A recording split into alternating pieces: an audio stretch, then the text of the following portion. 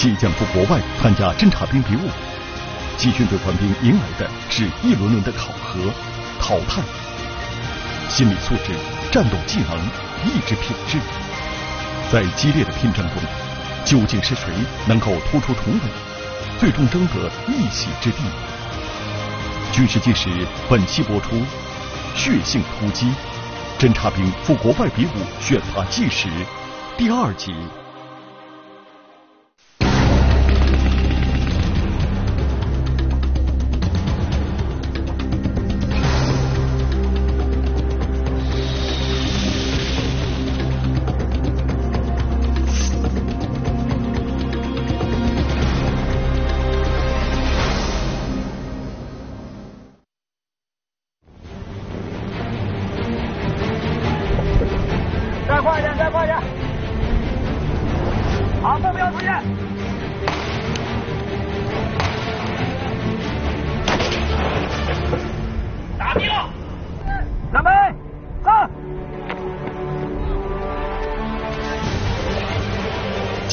进行崖壁攀登射击的是南部战区陆军第十四集团军某旅警侦连的官兵。二十七人当中，将有四个人有机会赴国外参加国际侦察兵的比武。朋友们，加油，加油！加油！加油！加油！加油！加油！按照预先设定的规则，崖壁攀登射击考核之后，就将进行第一轮考核。但现在的情况是，连长设置的这个科目太难了。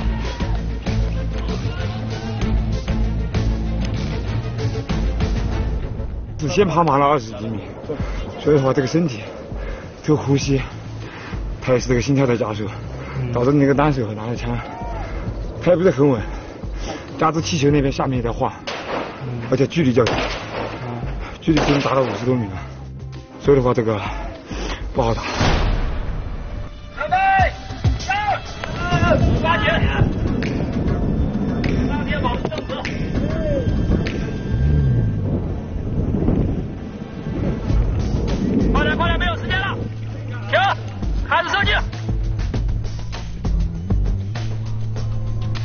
射击位置接近了十层楼的高度，需要耗费大量体力攀登上来。而从这个让人感到眩晕的位置进行俯角射击，很少有人命中目标。希望你给队里面开个好头吧。准备，上！加油！加油！加油！加油！加油！加油！稳住！稳住！稳住！这是二排排长冯杰，因为在之前的考核科目中发挥的不够理想，所以他本人以及他这个排的其他队员更希望能够在这个科目上拿到好成绩。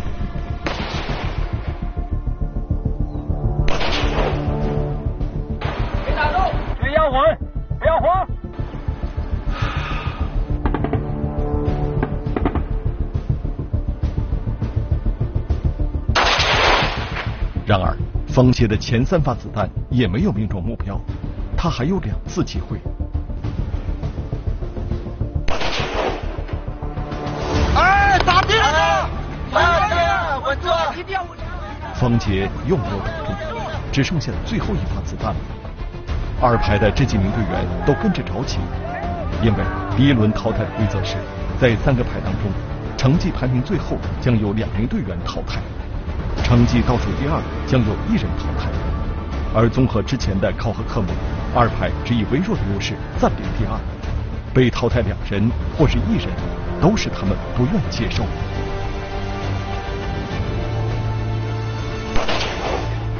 好在冯杰的最后一枪命中了目标。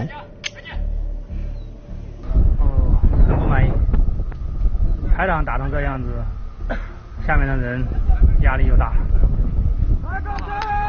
累，毕竟五六十米，我还是需要点体力的，而且纯凭手上、脚上蹬的要走，手上没劲的话很难上来。长虹爬了三十米左右的时候才进行射击，所以说难度更大。实际上，连长设置的这个科目也是贴近实战的。实战中经常会遇到通过攀爬崖壁渗透到敌人背后的情况。如果在这个时候被敌人发现了，就没有办法隐蔽，必须在第一时间就把敌人消灭掉。尽管这里的地形复杂，条件设置苛刻，但冯杰他们也知道，要想赴国外参加国际侦察兵的比武，就必须这么练。另一边是一排的队员，太低了，再高一点，升级完毕。继续反正。这时一排的队员已经命中了两个目标。此前的几个科目，一排的成绩遥遥领先，而现在他们又给二排和三排带来了压力。很快，二排的一名战士就要上场了，这回又轮到冯杰紧张了。那我们到那个位置，你保身体也一定先保持平稳。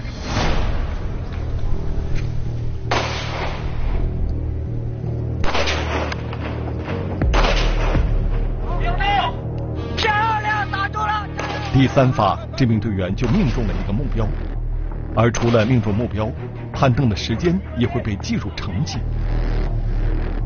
继续前进！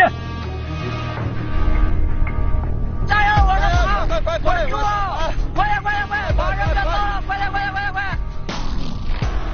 能超过一排，有信心吗？有信心，我对我们排的兄弟有信心，我对我们整个集体都有信心。我感觉我们实力还是很强的，一定可以超越他们。接下来，二排又有一名队员命中了目标。到现在，二排上场的队员都命中了目标。实际上，也和排长冯杰跟大家的交流有关。你们待会儿修的时候不要不要慌，打地枪的话，不要让它盖在中间。通常，手枪射击时，子弹飞出是一个抛物线。理论上，手枪二十五米水平射击时，要想打中十环，就需要瞄准下八环，这样才能正中靶心。所以，冯杰让战士们瞄准气球下方的木杆中间射击。尽管崖壁攀登射击的难度很大，但冯杰他们目前的形势还比较乐观。他们命中了三个目标，和一排并列第一，而三排只打中了一个目标。你不用看，直接瞄准打。然而，考核场上的情况瞬息万变，一排又有一名队员上场命中了目标。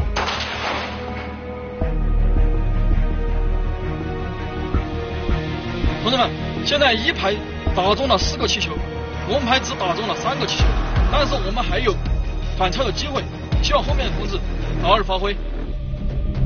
因为一排的全部队员已经完成了考核，而二排还有两名队员没有上场，冯杰看到了战胜一排的希望。二排的队员上场了，目标出现！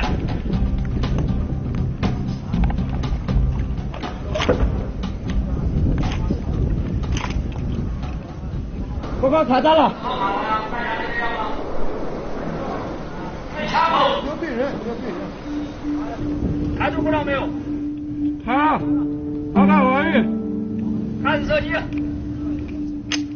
看准目标，不要乱打。出现意外抢弹的情况。由于心里更加紧张，这名队员没能命中目标。开始点，快点加油！加油！快加油！加油！加油！快点，赶快前进了，这个时间已经被你耗费的差不多了。三排加油！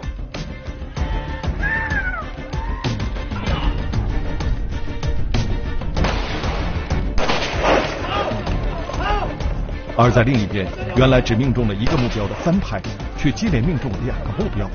他们已经追平了二排。周杰，一定要稳住啊！一定要稳住，不要受其他人的影响，好吧？加油！是。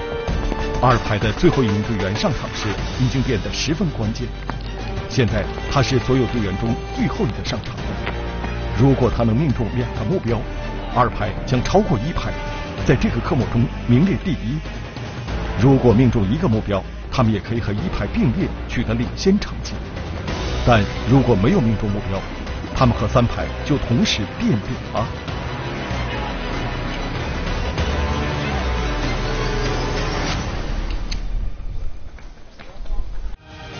班长自里多吉是一名老兵，射击经验丰富，深得排长冯杰的信任。最后一个出场，他能够顶住压力，打中目标吗？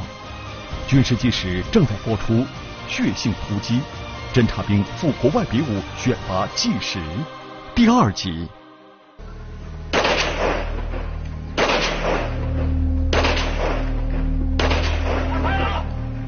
报告，收集完毕。打扫一发了。啊！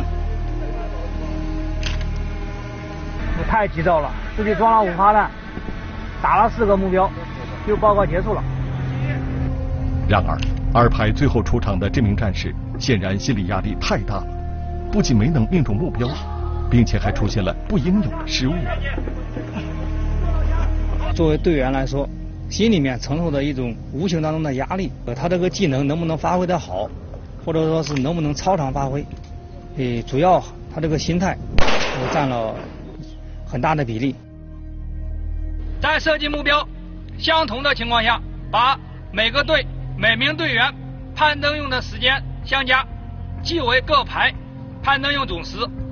哪个排攀登用的总时间少，哪个排胜出。最终，在崖壁攀登设计科目的考核中，一排名列第一，二排、三排设计目标相同，但因为二排攀登的总时间慢了几秒钟，他们排在了三排之后。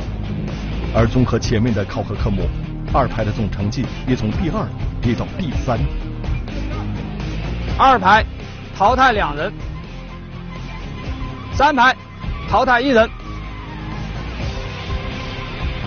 虽然二排排长冯杰此时懊悔不已，但考核结果已经不能改变。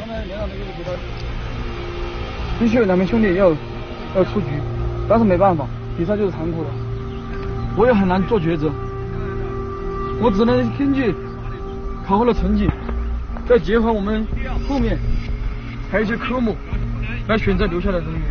我每一个兄弟都是不错的，每一名兄弟都是非常棒的。不是不是，真的。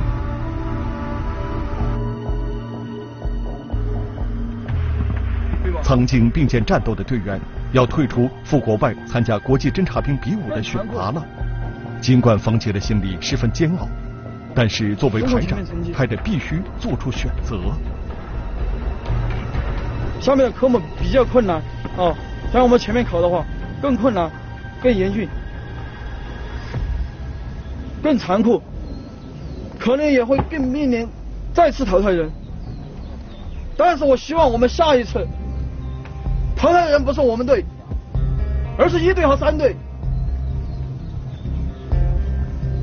班友们，谢谢。耶！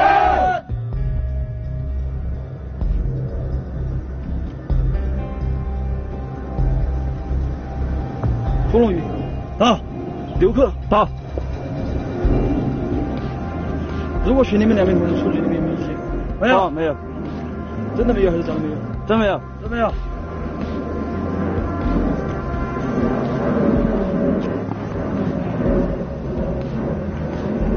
其他人有没有意见？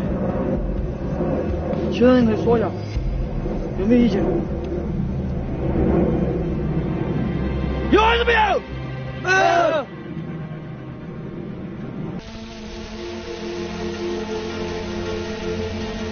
第一轮的淘汰之后，经过短暂的休整，剩下的二十四名队员马上就要展开新科目的角逐。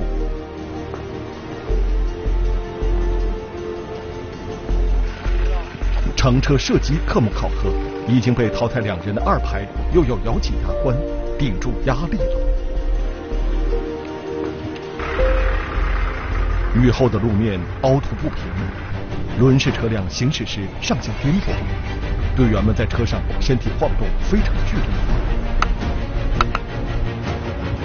首先是手枪射击，每名队员有五发子弹，射击自己对应的目标靶。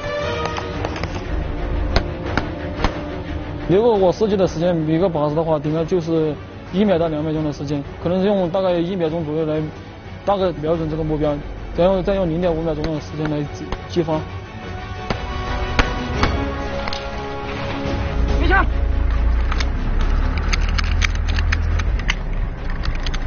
看到他。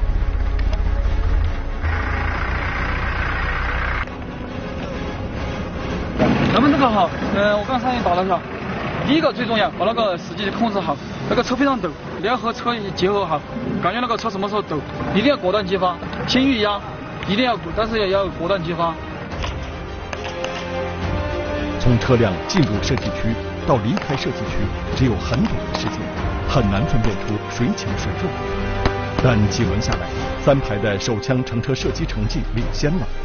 一排第二，冯杰他们的二排又落在了最后。接下来将是步枪乘车射击，而按照规则，步枪射击之后，排名最后的那个排要淘汰一名队员。同志们，刚才我们的手枪打的不是很好，排名第三，我们的步枪打名打到第一，才有可能不会再淘汰人。形势还是比较严峻的，考核已经进行到现在了。同志们不应该再紧张了，心态应该是更加平稳，不要有什么压力。朋友们，起来！耶！耶！耶！耶！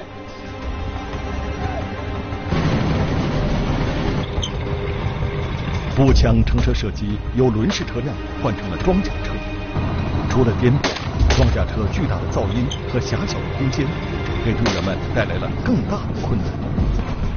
然而。背水一战的二排队员这次顶住了压力，他们的步枪乘车射击越打越好。右六环，三号厕所九环，二号厕所九环，二号就还可以，二排的成绩现在来看还可以，呃，十环比较多，拖把的比较少。步枪射击之前，一排名列第二，而现在如果二排的步枪射击成绩超过一排，那么整个乘车射击的成绩谁高谁低就不好说了。这一排的步枪熄火了，二排和一排是各有一个第二，是各有一个第三，它两个应该算是持平的。乘车射击考核结束。连长也计算出了三个排的最后成绩。手枪、步枪、乘车射击两项平均成绩相加，分别为三排五十一环，排名第一；二排三十六点三环，排名第二；一排三十一点四环，排名第三。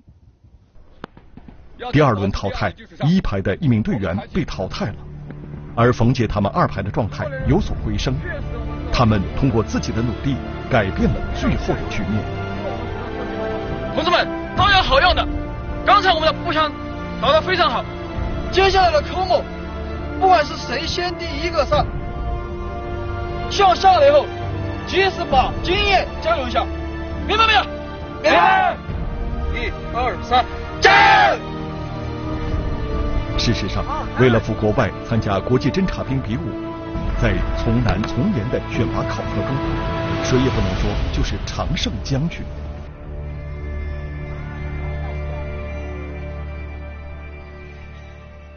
北京时间晚上十点三十分，正常情况下现在已经熄灯了，但是你还有任务没有完成，到定位置就位，报告，全倒，准个俯卧撑，开始。二十三名队员将要进行的是狙击步枪夜间射击的考核。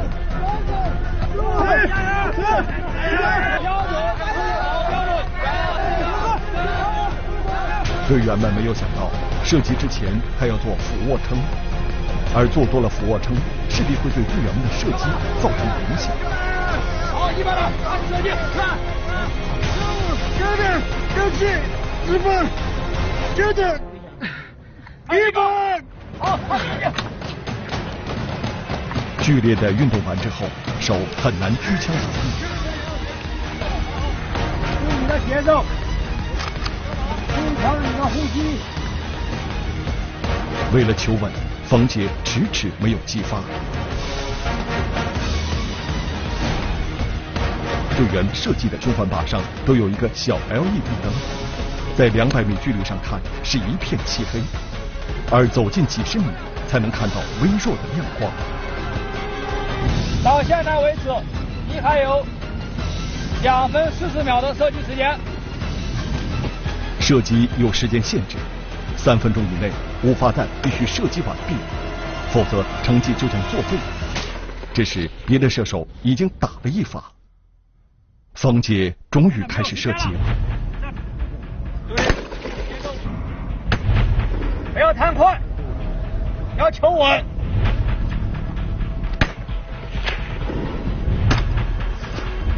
反复调整后，方杰接连打了三发子弹。相比较其他排长来说，他的射击速度快了不少，这让二排队员为他捏了一把汗。好，射击完毕。还有十五秒。最后一个开始射击，却第一个打完。如此昏暗的光线下快速射击，冯杰的成绩能打好吗？报告射击完毕。好，队友，点停。班长员，好好减法。好的，明白。排长冯杰的射击成绩到底如何？二排又能否夺得夜间射击科目考核的第一，让队员不再淘汰？选拔考核最终又是谁能够脱颖而出，在四个参加国际侦察兵比武的名额中占有一席之地？明天请继续收看《血性突击》侦察兵赴国外比武选拔纪实第三集。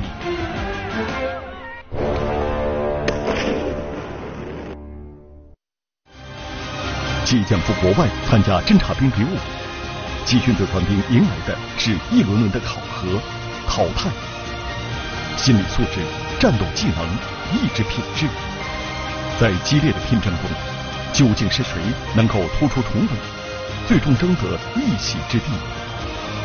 军事纪实下期播出，《血性突击》侦察兵赴国外比武选拔纪实第三集。